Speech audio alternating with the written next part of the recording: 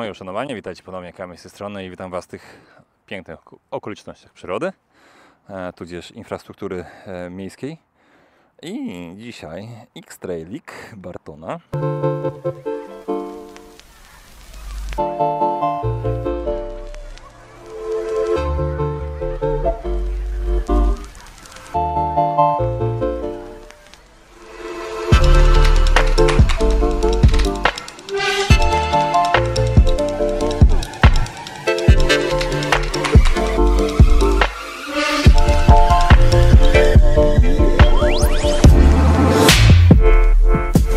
Temat miał być prosty, łatwy do pokazania, ale powiem Wam, pojawiły się nowe okoliczności, które sprawiają, że poza mm, testem motocykla, tudzież skutera miejskiego, którego oczywiście pokażę Wam jak jeździ e, podczas przebitek e, z miasta, e, a na tym mieście się fajnie bawiłem. Po słupie. Oj, patrzcie! I szlifierka! szlifierka e, objechana bez większego problemu, bo się chłopak zagapił. Oczywiście, że nie mam z nim szans na, na starcie, to, to jest... Chociaż patrzcie, pszczółkę moją dogoni? A? Na cholerę mi 600 w mieście. Jak ja 125 jestem w stanie ją spokojnie e, dogonić. Zmieniam jakby anturaż i przechodzę do e, warsztatu, gdyż ponieważ jest tutaj tyle rzeczy ciekawych, które warto powiedzieć, zwłaszcza w kontekście w teorii konkurencyjnego modelu XDV, który jest od Junaka. E, i pokazując Wam różnicę między tymi dwoma motocyklami, pokażę Wam tak naprawdę e, najlepiej naocznie, jak wygląda fabryka, jedna fabryka e, i przekrój tego wszystkiego, co produkują. Jak dużo możemy sobie wybrać, zmienić, dostosować do własnych potrzeb pojazdu, który chcemy sprzedawać.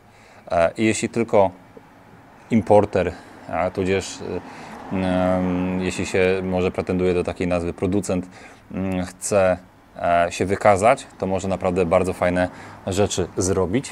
I tak oto właśnie macie przed sobą Bartona X-Traila i Junaka XDV 125.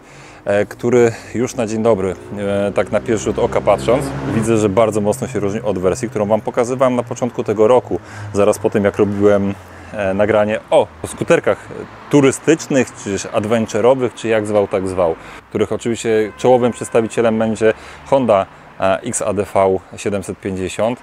Um, tu mamy, brakuje nam literki A, ale takie mocne nawiązanie. Zresztą ten jest bardzo podobny przecież do 350 mm, e, Hondowej. E, silnik jest, powie, już teraz nie jestem pewien, czy kopią, jak bardzo ko wierną kopią, ale na pewno powstał bardzo blisko z CPX-em, bo ma y, wspólne rozwiązania techniczne. Eee, Barton oczywiście też. I chciałoby się powiedzieć, że tu mamy stylówkę piątkę chłodzoną cieczą, tu mamy stylówkę piątkę chłodzoną cieczą. Nie sprawdzałem jeszcze parametrów dokładnych, ile ten ma koni, ile ten ma koni. Mogę y, domiemać, bo jeździłem tym, że on ma coś koło 13 e, z hakiem konia mechanicznego i waży, przypuszczam, że coś koło 140 kg. Właściwie e, ten będzie bardzo podobnie e, wyglądał. Natomiast silniki w teorii są takie same, ale praktycznie to jest zupełnie no może nie zupełnie, ale jest to dość mocno co innego. Pierwszy dowód, zobaczcie, e, filterek. Tutaj mamy sitko e, ze tą sprężynką, takie wiecie, e, klasyczne, nie? Na klucz 17 w każdym skuterku to występuje 50, 125, czy nawet nie tylko skuterku, ale motocykla 125 z silnikami CG na przykład. Um, mamy system start-stop. Nie wiem po co on, na pewno nie oszczędzi nam silnika, spalania, niczego w jakiś tam zawrotny sposób. Zobaczcie jak daleko wszyscy zostali za mną. mały pocisk, naprawdę mały pocisk, więc ten start-stop może nie jest tu jakoś strasznie potrzebny.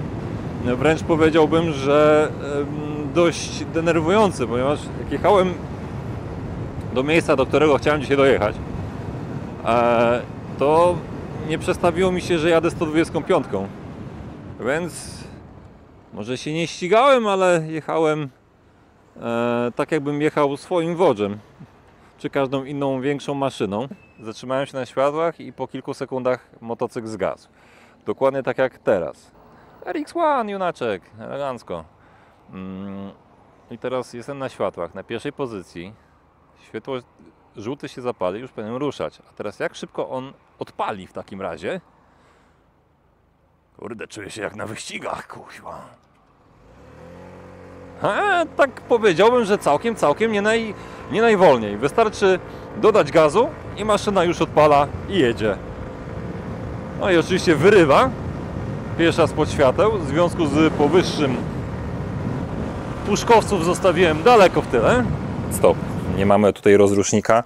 Mm, Nie wiem, czy tutaj też to jest tak rozwiązane. Teraz muszę sobie pomacać. Nie, tutaj jest to inaczej już rozwiązane. e, Widzę, także kartery też są e, no, mocno inne w stosunku do tego, co mamy i co występuje w tym silniku, e, w Junaku. O ile tutaj chłodnica wygląda prawie identycznie, poza osłoną, która jest minimalnie e, różna, nawet wydechy są e, kozacko, adventurowo wysunięte do góry. W ogóle patrzcie na tamte amortyzatory. E, Na tych złotych zbiorniczkach napisać jeszcze Ochlins, kto by się zorientował. Tu mamy takie bardzo proste zawieszenie z regulacją napięcia wstępnego, ale spójrzcie tutaj, mamy normalny filterek papierowy oleju.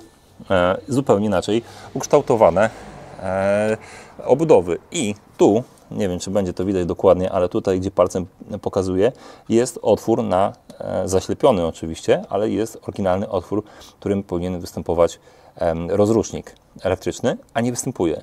Ten silnik, e, przyznam szczerze, szalenie pasuje mi do tego, wizualnie przynajmniej.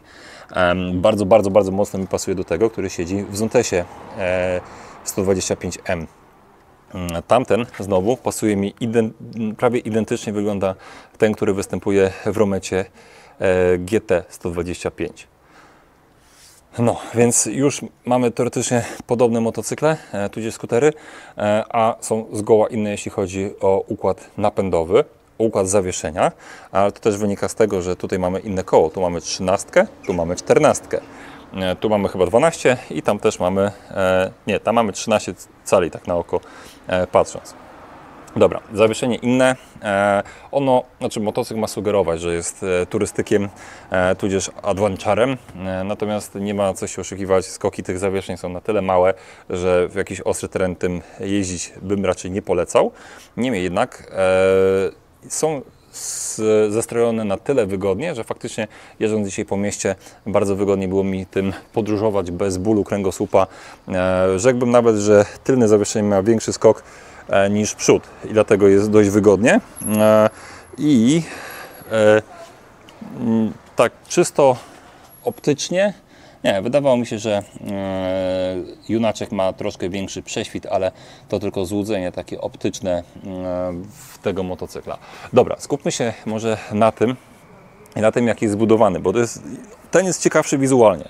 Jakby miał czysto wizualnie na nie patrzeć, to wygrywa Junaczek, gdyż, ponieważ, zobaczcie, ten błotniczek tak wysunięty jak e, w klasycznym motocyklu.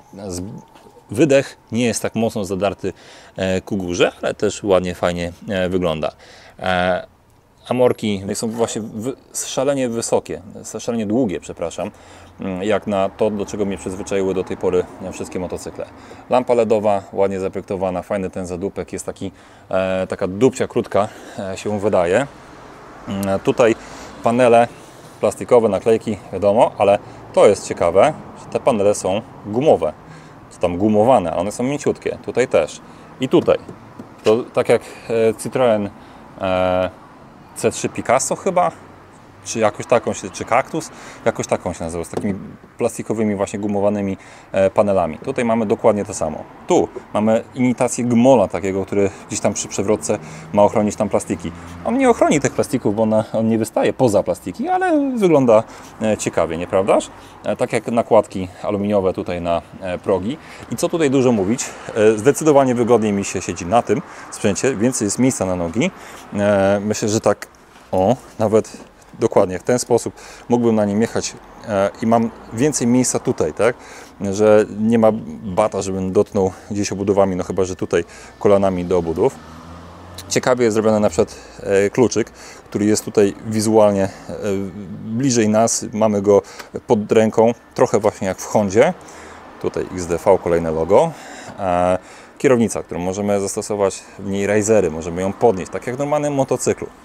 Proste manetki, ale też ta prostota jest o tyle fajna, że tu mamy normalny wyłącznik zapłonu, klasyczny, tak jak w motocyklu. Tu mamy wyłącznik E, start, systemu start-stop, a tu otwieranie siedziska i zobaczcie, które jest powielone też i w tym miejscu, tylko żeby tego użyć, musimy stacyjkę w odpowiednie miejsce zrobić. I przypuszczam, że wtedy jest to na lince e, w jakiś sposób, natomiast tutaj cyk i sam się nam unosi pokrywa i w tym bagażniku zmieścimy spokojnie kask integralny. E, przed chwilką pasowałem tutaj Mm, Aeroha Commandera e, wszedł. Co za tak bokiem, ale wszedł na ścisk, ale, ale był, wiecie, on ma ten daszek endurowy, bez daszka siedziałby bez najmniejszego problemu. Także e, git, o lampę od razu Wam pokażę, jak ładnie świeci, ze stopem pyk, pyk. No, kierunki pływające dali? Nie, Standardowe kierunki te są identyczne jak w Bartonie, ale świecą bardzo dobrze. Na pewno jeśli chodzi o widoczność nie będzie tutaj problemu. Prosta, prosty kokpit, bez żadnych wodotrysków. Temperatura cieczy chłodzącej, temperatura zewnętrzna, która trochę przekłamuje, 29 stopni to już nie ma o tej porze. E, kontrolki wszystkie wyglądają na dość widoczne, chociaż tutaj ten kontrast jest taki może to kwestia tej osłonki, która na nim jest, ale jest e, matowy ten wyświetlacz i to jest plus. Bardzo mi Hondę przypomina, mimo wszystko działa. Dobra, tutaj fajny ten podświetlany e, symbolik, chociaż szkoda, że na przykład nie dali tutaj Junaka, bo przypuszczam, że mogli to tak zamówić. E, bezkluczykowy dostęp, oczywiście. Mm, dobra, idziemy dalej. E, z tej strony nie mamy nic poza tą regulacją, uchwytem do regulacji, cięgnem do regulacji szyby. Natomiast tutaj mamy soket 120 W, 10 A, 12 V cyk klasyczny, standardowy, staroświecki e, bym powiedział, ale jest. Mm, I teraz tak, tutaj mamy jeden schoweczek i w schoweczku mamy kolejne dwa gniazda, e, nie, przepraszam, jedno gniazdo USB, fajnie. Tutaj moglibyśmy wrzucić bez większego problemu telefon. Zobaczcie, że jest to uszczelniane, tudzież może nie uszczelniane, bo to chyba wody nie zatrzyma, ale tak, żeby nie tłukła nam ta e, osłonka podczas jazdy i w Bartonie faktycznie nic mi nie tłukło. Z drugiej strony jest druga osłonka i tutaj mamy dostęp do e, płynu chłodniczego, do zbiorniczka wyrównawczego. Fajnie. Wszystko dostępne prosto w miarę e, git. Układ hamulcowy. Pierwsza, największa e, różnica do e, Bartona CBS. Klasyczny CBS zamiast ABS-u. To jest mały e, fuck up. E, tu mamy oświetlenie dodatkowe. E, bardzo fajny patent e, jak na skuterek. To mnie lampy. E, lampy z napisem Longia, żeby nie było. One powinny Wam się kojarzyć z modelem 806 Junaka, który był dostępny w 50, w sypiące, w dwusuwowej 50, która zasuwała jak szalona i to był jeden z najlepszych skuterów, który miałem e, przez ostatnie lata e, dostępne e, gdziekolwiek w sprzedaży. Bardzo byłem z nich zadowolony, bardzo fajnie chodziły i były cholernie wytrzymałe. Bardzo fajnie, że właśnie Junak poszedł w tą stronę, że zamówił go z tymi lampami, które nawiązują mocno do tych 806. Wiecie, tak konsekwentnie te motocykle są do siebie podobne. Natomiast przechodząc do tego sprzętu, on mi bardzo mocno e, przez chwilę przypominał e, Wodza SR4, który jest od tego samego importera przecież w Polsce i te lampy też troszkę są podobne. Natomiast zobaczcie, oko cyklopa, e, kamerka. Nie mam pojęcia, gdzie wchodzi karta pamięci. Nie namierzyłem tego miejsca, więc nie wiem, czy będę mógł sprawdzić to nagranie z tej karty, ale jest to dodatkowe wyposażenie, którego nie musicie zamawiać i tak naprawdę nie wiem, czy jest opłacalne, żeby je brać. Niestety chyba dzisiaj Wam tego nie powiem. Lampy są o tyle fajne tutaj, e, te paski LEDowe tak, tak sekwencyjnie się włączają. Bardzo fajne, efektownie to wygląda. Bezkluczykowy dostęp, tak jak mówiłem wcześniej. E, zobaczcie, tutaj osłonka, która podobnie się e, otwiera, jak, jak w junaczku, też jest z uszczelką. I tutaj chyba jest zwykła taka uszczelka. Nie, to samo. Dobra, nieważne. Paliwko lejemy tutaj pod klapką, która nam się otwiera sama. I tutaj pierwszy mankament tego sprzętu, że jest tak schowany ten, e, ten kluczyk. Trzeba o tym pamiętać, tudzież do niego się przyzwyczaić. Ten przycisk znacie z 711 Junaka, na pewno. A, dobra, już w złej, pozycji chciałem go otworzyć, tylko na postoju możecie go otworzyć. Nie, się sam otwiera, to też jest fajne. Cyk, nie trzeba dodatkowo klucza pakować, tylko mamy go pod taką klapką zabezpieczonego. E, nie otworzycie oczywiście ani siedzenia, ani e, tej klapki, jeśli nie będzie stacyjka w odpowiedniej pozycji. E, tak więc jeśli damy ją tutaj na wyłączony zapłon, to już wtedy nikt się tutaj do nas nie, dosta, nie dostanie. Mm, port USB-C, port USB, fajnie. Dwa porciki, tutaj przewodem na mocowanie na kierownicę, bo mamy normalną kierownicę, do której każdy jeden uchwyt jesteśmy w stanie zastosować. O, alarm się włączył, bo to też jest w standardzie. Z racji tego, że Bartonik ma bardziej rozbudowany ekran, na który to mm, ładnie to wygląda, interfejs możecie zmienić e, z masą informacji wtedy będzie, aczkolwiek nie ma na przykład komputera pokładowego, z drugiej strony to spala 2,5 litra na 100 km, naprawdę trzeba sprawdzać spalanie na bieżąco, żeby wiedzieć ile spala, nie sądzę. E, mamy tutaj bardziej rozbudowany ten, e, te przyciski, zobaczcie, możecie sobie rozjaśnić, ściemnić ekran za pomocą przycisku. Możecie sobie wejść dalej w to menu. Proszę bardzo, sprawdzić kody, e, sprawdzić do kiedy następny przegląd. O, czas akc- y, przyspieszania od 0 do, 160, y, do 60 km na godzinę. Taki bajer, ale jednak jest. Dobra, tu jest QR code, prawdopodobnie do aplikacji jakiejś. Mm, dobra, e, clock do ustawienia ECU info uuu pan. Ale tu mamy informacje. Kurczę, nie trzeba podłączać OBD, bo tutaj wszystkie te informacje widzę, że mamy na ekranie podane, nawet z lambdy informacje, kurczę e, samodzielna diagnostyka sprzętu e, tak naprawdę wchodzi w grę, diagnostyka ABS-u, e, TPMS, ale TPMS-u tutaj nie ma e, uruchomionego, także w innej wersji wyposażenia pewnie jest możliwość skorzystania z tego. To też e, dość ciekawe i przypuszczam, że wtedy mamy tutaj pokazane wartości ciśnienia w kołach. Dobra. Inny zawias, zupełnie zmieniony, większe koła, inny silniczek, nawet te wykończenie. Troszkę mniej miejsca na stopy, e, troszkę mniej jakby miejsca ogólnie na nogi przy dwumetrowcu. Dla większości z Was będzie tu wygodnie, ponieważ jest tutaj taka typowo krzesełkowa pozycja e, za, na tym siedzeniu. Mm, nie ma takich efektownych tych nakładek. Wiadomo, bardziej e, ucywilizowany ten sprzęt. Tutaj znowu bierzemy na seat. Siedzenie otwiera się tylko w tym miejscu. Nie oskakuje nam tak ładnie ale może to kwestia naciągnięcia tej sprężyny jeszcze i zdecydowanie mniejszy mm, bagażnik. Tutaj kask, e, tylko jakiś płytki jet wejdzie, plus, że ona tak się bardzo pionowo otwiera, e, ta kanapa. E, niemniej jednak, może zbiornik tutaj jest mniejszy, ale macie seryjnie stelaż pod kufer centralny. Do tego trzeba będzie taki stelaż dokupić, ale wiem, że są nie dość, że centralne, to jeszcze boki e, możliwe do zamontowania, więc zakładam, że też i tutaj tak będzie to wyglądało. Mm, zobaczcie też podnóżki. Tutaj mamy tak secik otwierany, tu mamy otwierany secik w ten sposób. No mówię, ten jest naprawdę takim cukiereczkiem. Czysto wizualnie, jeśli miałbym wybierać, to zdecydowanie poszedłbym e, w Junaka, bo jest taki bardziej właśnie adventurowy, e, w stylu przynajmniej, bo w zachowaniu mm, nie wiem jak w Inaku, ale mogę się spodziewać.